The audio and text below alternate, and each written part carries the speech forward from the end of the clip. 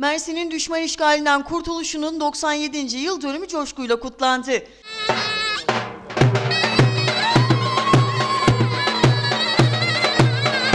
Tren garına başlayan kutlamalarda gazilerin oluşturduğu temsili milis kuvvetlerini taşıyan tren, Mersin Valisi Ali Sansu, Akdeniz Bölge ve Garnizon Komutanı Tuamiral Önder Gürbüz, Mersin Büyükşehir Belediye Başkanı Burhanettin Kocamaz ve milletvekilleri tarafından karşılandı.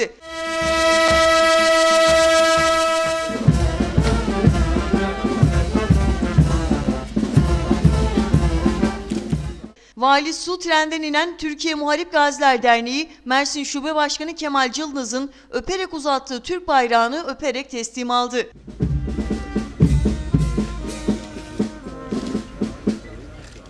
Gazilere çiçeklerin sunulmasının ardından törene katılanlar Mersin Büyükşehir Belediye Bandosu eşliğinde İnönü Bulvarı'nı takiben Cumhuriyet Meydanı'na yürüdü. Yürüyüş esnasında Kanal 33 mikrofonlarına konuşan Mersin Valisi Ali İhsan Su, Mersin'in kurtuluş yıl dönümünü kutladı. Biz de 97. yılı coşkuyla kutluyoruz. Tabii ki milletimiz hiçbir zaman tarih boyunca esaret altında kalmamış. Kendisine vurulmak istenen esaret zincirini her zaman kırmıştır, parçalamıştır.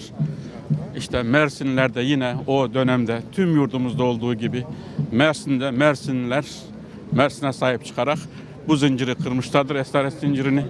Ben bu anlamda başta Gazi Mustafa Kemal Atatürk olmak üzere tüm şehitlerimizi rahmetle anıyorum. Kanal 33 mikrofonlarına konuşan bir diğer isimse Mersin Büyükşehir Belediye Başkanı Burhanettin Kocamaz'dı. 3 Ocak 1922 günü Mersin'i Fransız işgalinden kurtardılar. Bugün biz burada hem geçmişimizi yad ediyoruz, şehitlerimizi, gazilerimizi yad ediyoruz.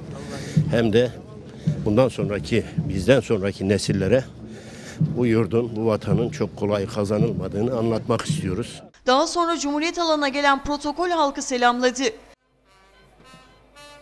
Günümüz kutlu olsun. Okunan şiirler ve yapılan konuşmaların ardından tören Mersin Büyükşehir Belediyesi Halk Oyunları ekibinin gösterisiyle sona erdi.